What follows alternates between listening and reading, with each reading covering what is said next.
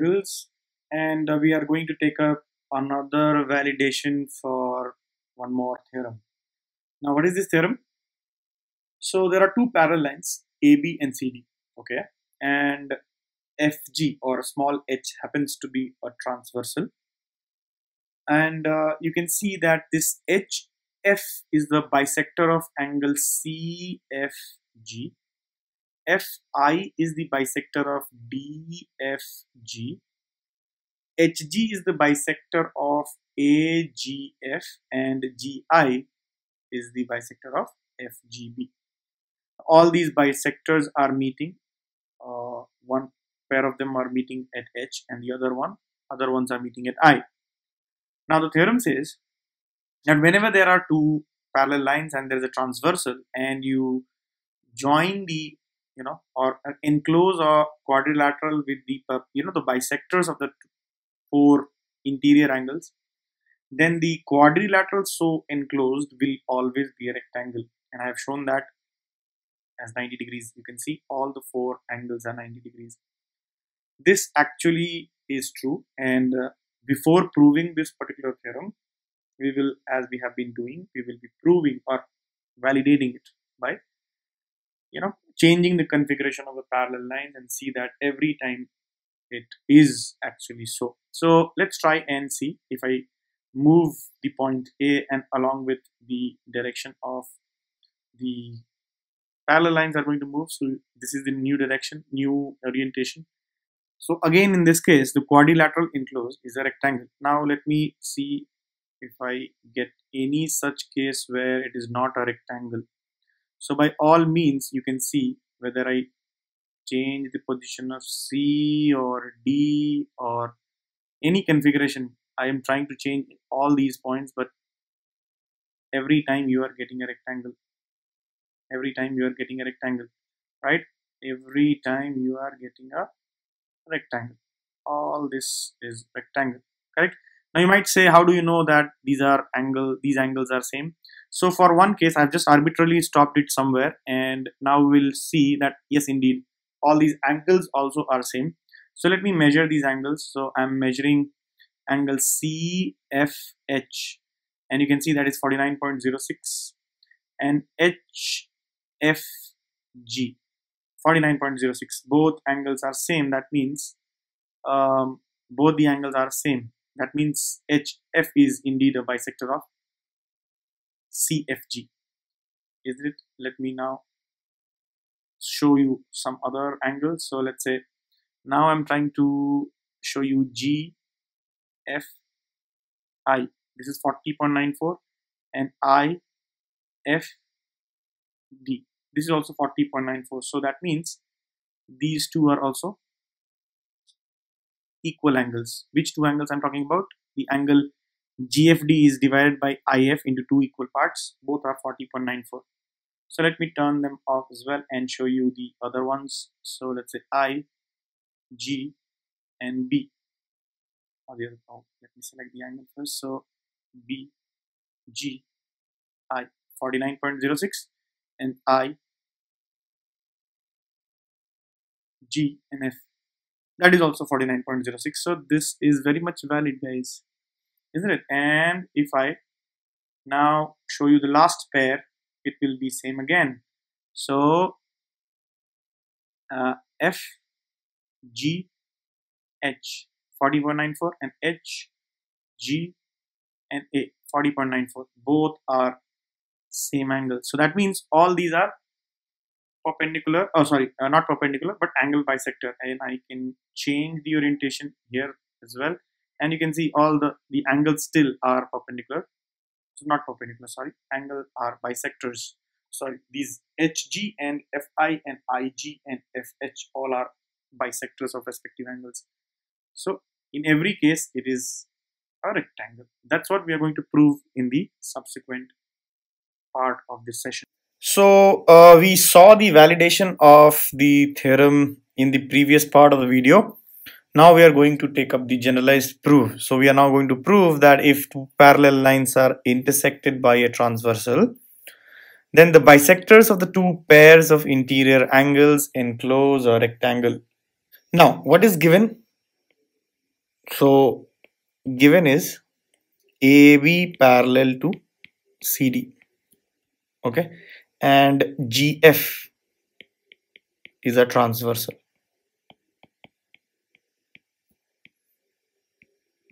right? This is given. What is to prove? We have to prove that EF no um GHFI or FI FI GH is a rectangle. So what are the properties of rectangle? We need to know so that we can prove it. So clearly uh, each of the angle must be 90 degree. Either that or you prove that EFGI sorry not EF FIGH is a parallelogram and then prove any one of the angle is 90 degree then also the rectangle is going to be oh, sorry the quadrilateral is going to be a rectangle. So what did I say? I will write down either you prove all angles are right angles okay? All angles are right angles then it is a rectangle or else parallelogram with one right angle with one right angle. This also is good enough to prove that the given quadrilateral is a rectangle okay? So in my opinion i will be going for the second case because it's easy to prove parallel in this case. Now let's prove this theorem. So clearly uh, let me you know Mm, put some names on the angle so that it becomes easier to identify and lesser effort in writing. So let's say this is 1 this is 2 this is 3 this is 4 and this is 5 this is 6 this is 7 and this is 8 let's say these are the angle configuration meanwhile we have to also say that hf HG, FI and IG are angle bisectors. Angle bisectors and which angle? It's quite evident from the figure. Okay, so we have to prove now that FIGH is a rectangle. Let's do that. Uh, since AB is parallel to CD, let's first try to prove the given quadrilateral to be parallelogram. Therefore, angle 1 plus angle 2 is equal to angle 6 plus angle 8. So this is angle 8, isn't it? And why is this? Since, or you can write alternate interior angles. We learned in lines and angles chapters right? Chapter. Alternate interior angle. Now angle 1 is equal to angle 2 and angle 6 is equal to angle 8 why? It's given bisectors HF is bisector of angle CFG and GI is bisector of FGB so hence from these two we can say angle 2 is equal to angle 6 right? Angle 2 is equal to angle 6 but angle 2 and angle 6 happen to be alternate interior angle for which two lines? HF and GI so hence we can say that HF is parallel to GI right? Again and alternate interior angles are equal and transversal is transversal is same. FG angles are equal right? So we can say that so HI HF is parallel to GI. Now let's go to this side. Now what I'm saying is next is uh, similarly similarly what do we see? Angle 3 plus angle 4 right? That is this angle is equal to angle 7 plus angle 5 that is this angle. Why? Again alternate interior angles. So alternate interior angles. Isn't it? Again in this case we know that angle 3 is equal to angle 4 and angle 7 is equal to angle 5 why? Because of bisectors. Isn't it? So hence I can say angle 3 is equal to angle 5 correct and because of this we can now conclude. Angle 3 and angle 5 are interior alternate interior angles. So hence Fi is parallel to Hg so using the first one we could prove that this line is parallel to this one. And using the second we could prove that this line is parallel to this one. That means what? So let us write some identification equation number. So uh, you know so hence or rather we can do it like this itself that therefore h f g uh, fig or whichever name we had taken figh right? So figh is a parallelogram.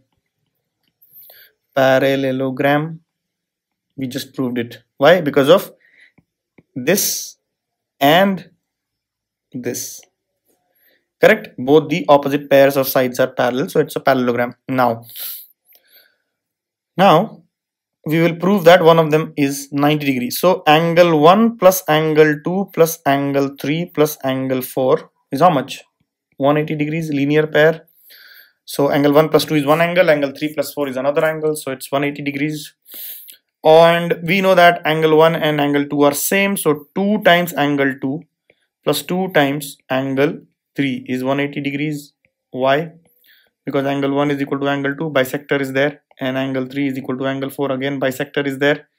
So that means angle 2 plus angle 3 is 180 degrees by 2 so this 2 is common to both isn't it? So I can take that on the other side right, uh, right inside and divide. So we get this is equal to 90 degrees. So angle 2 plus 3 is 90 degree. Therefore, angle HFI is 90 degree. And that is what we wanted. So we have a parallelogram with 190 degree angle. That means, right? So this is, let's say 1. This is 2. So from and 1 and 2 we can say. From 1 and 2. What do we conclude? G or FIGH was the name FIGH FIGH is a rectangle. Rectangle right? So always remember a rectangle is nothing but a parallelogram with one of them one of the angles being 90 degree. So hence using this property we could prove that EFGH is oh sorry not EFGH every time I'm saying EFGH it's FIGH is a FIGH is a rectangle right? I hope you understood this proof